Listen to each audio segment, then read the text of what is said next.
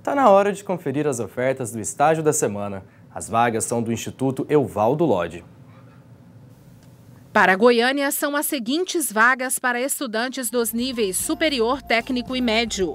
Administração, 24 vagas, do primeiro ao sétimo período. Pedagogia, 8 vagas, do primeiro ao sétimo período.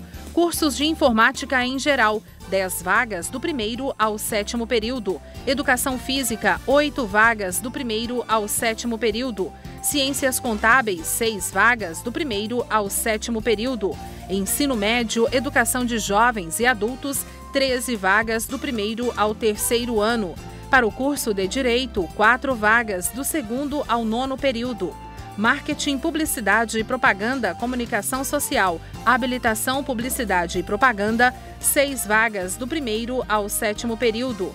MIA, Ciências Econômicas, uma vaga do primeiro ao oitavo período.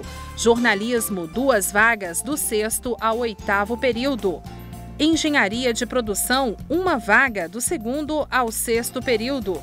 Arquitetura e Urbanismo, duas vagas do quarto ao oitavo período técnico em saúde bucal, técnico em higiene dental, assistente de consultório dentário, auxiliar em saúde bucal, duas vagas do primeiro ao segundo período e para o curso de enfermagem, uma vaga do primeiro ao segundo período.